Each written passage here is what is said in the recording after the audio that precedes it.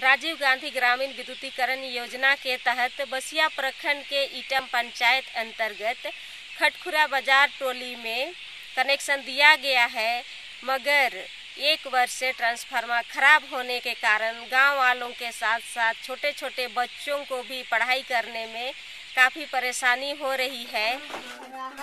Degree से पढ़ाई करता है। जी लाइन नहीं है यहाँ। नहीं परेशान होता है पढ़ने नहीं सकते हैं तो आई जी जिठिन तोहरे मन काले जमा हुई है? आज ये ट्रांसफार्मर खराब हुई है वो विषय में वो थी लई के। आ, ईठन जमा हुई ही और मीटिंग करके वो ट्रांसफार्मर नया लगा कर विचार विमर्श कर। यानी बिजली बिल जब आवत है तो उके आवे के नहीं चाहिए काले कि ट्रांसफार्मर खराब हुई है। सेकर में भेज है तो जब कनेक्शन होने से देवी उकर बाद में हमें बिल देव पहले दे रही तो कमरा में दे रही।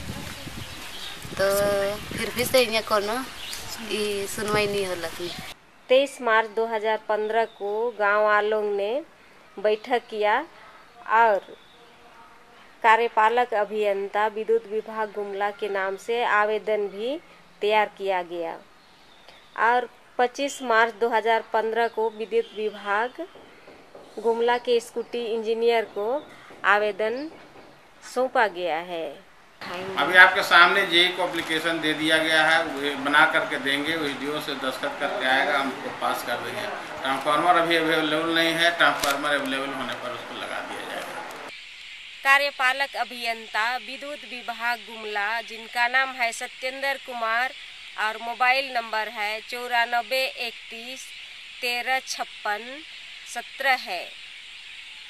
अतः आप तमाम वीडियो देखने वालों से हम अपील करते हैं कि ऊपर दिए गए नंबर पर कॉल कर हमारी सहयोग करें ताकि इस गाँव में बत्ती जले और बच्चों को पढ़ाई करने के लिए सुविधा मिले।